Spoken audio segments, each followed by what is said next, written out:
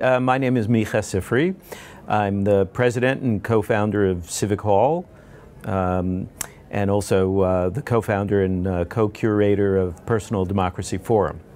So there's a reason why so many people of goodwill are, are uh, uh, attracted to this sector, and whether it's techies or it's community organizers or it's people coming from the public sector, there's this collection point around this concept of civic tech or tech used for the public good, um, which, which feels to me like it has greater potential for success at a moment where we need to figure out how to move uh, faster than seems possible at addressing really serious, uh, you know, global level crises.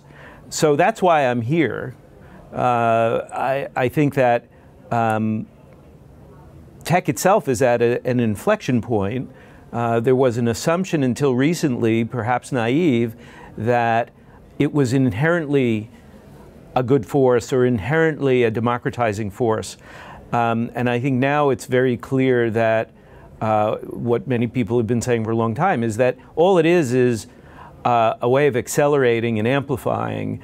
Um, it isn't necessarily good or bad. It's really in, in, how humans decide to use it, how humans decide to design it, um, and that uh, we better check our assumptions uh, and, and look more carefully at uh, the claims being made for the beneficial effects of tech, because it seems as though uh, uh, it's been either hijacked or it's being used far more effectively for, for negative outcomes uh, today than, than people ever thought was possible.